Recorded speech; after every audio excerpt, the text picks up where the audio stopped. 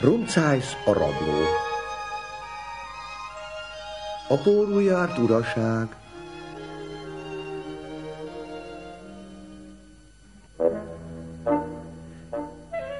Egyszer kora reggel Rumcájsz hirtelen felriadt álmából. Teringettét, mintha a szarvast hallanám. Mit akar ez az agancsos? A patájával kopog a sziklafalon. Runcász fölkelt, és csibészkével kiment megnézni, miről van szó. Manka magára maradt, friss fenyőgajat tett a heverőre, aztán föltette főni a reggelit, a finom szederlevél teját.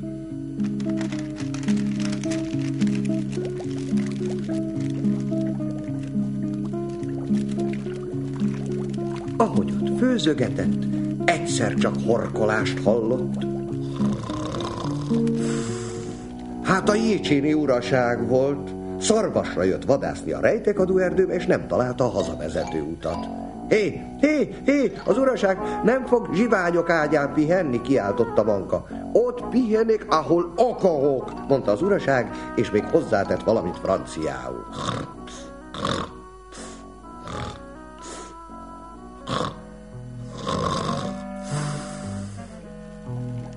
Manka erre nyírva leveleket dobott a tűzre, és egyszeriben könyvfakasztó füst lett. Mit csinálsz itten? Semmit felelte Manka, csak rakom a tüzet, nehogy az uraság meghűljön nálunk.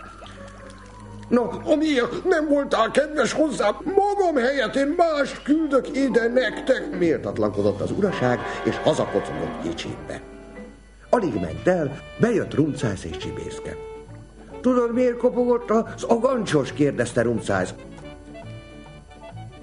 Azért, mert kiszivatolt, hogy az uraság szarvast akar lőni. Na, azt már kifüstöltem innét. Oh, alig fog belenyugodni, biztosan bosszút forral ellened.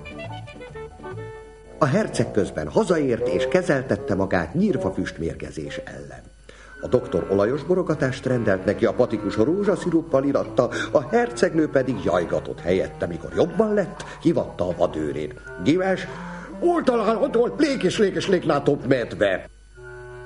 A harmadik határban. Ide hozott őt nekem. Jaj, de hogy hozom, hiszen még a puszta és csütörtököt mond ilyettében akkora medvétől. Mondj el! Minek nekünk az a medve, fuvolázta a hercegnő. Az lesz a ablakban a manka társbérlője. De elbír vele majd a vadőr. Így meg így kell csinálni, majd én megmondom aztat. Megvan az ötletem. Runcájsz ez alatt törte a fejét, vajon hogyan áll bosszút az uraság bankán. Végül elhatározta, hogy körülnéz náluk. Titokban megbújt az árkádok alatt, és bekukucskált a kastélyba. Éppen akkor indult a szolgák serege, a lakály, a szakácsnő, a kukták, végül Gimes a vadőr. Egyik üzletből a másikba mentek, és mindenütt csak lisztet meg nézet vásároltak. Mikor Runcász ezt látta, a legrövidebb úton igyekezett vissza az erdőbe. No, mit intéztél, Runcász? Kastélyban nincs vendég, mégis mázsa számra veszik a lisztet, vödör számra a mézet. Liszt, méz? Manka ebből azt találta ki, hogy biztosan mézes kalácsot akarnak sütni, és azzal a sok mézes kaláccsal majd ide akarják csalogatni a medvét a barlangba. Hú, az olyan mézes kaláccsal, amiben négy vödör mézet gyúrtak bele, még azt az óriási medvét is ide lehet csalogatni a harmadik határból. Másnap a rejtekadó erdőn megkezdődtek az előkészületek.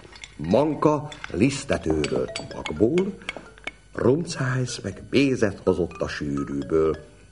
Csibészke pedig fölmászott a tölgyfa tetejébe leskelődni.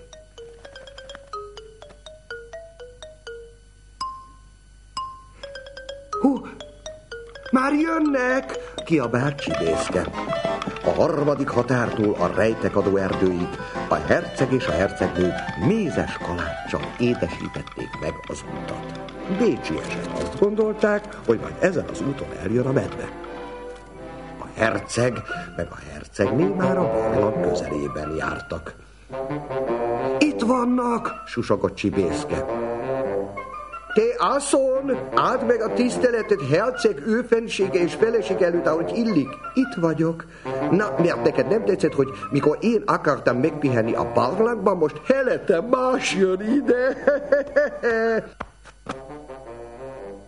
Ebben a pillanatban Manka befújta a medvét liszttel. Rumcájsz megforgatta, mint a hordót. Csibészke pedig elkiáltotta magát. Ensd! Az egész méz rázúdult a hercegi párra. Megérezve a méz édességét, a medve nekik rontott, kergette őket árkon bokron át. Oda volt minden előkelőség és méltóság.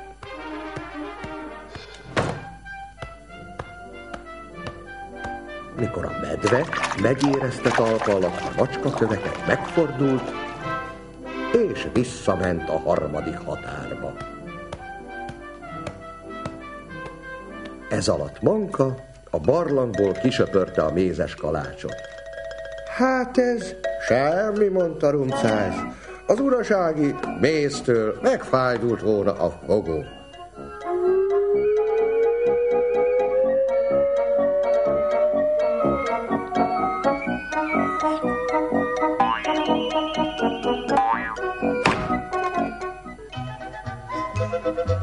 Mesét Szuhai Balázs mondta el.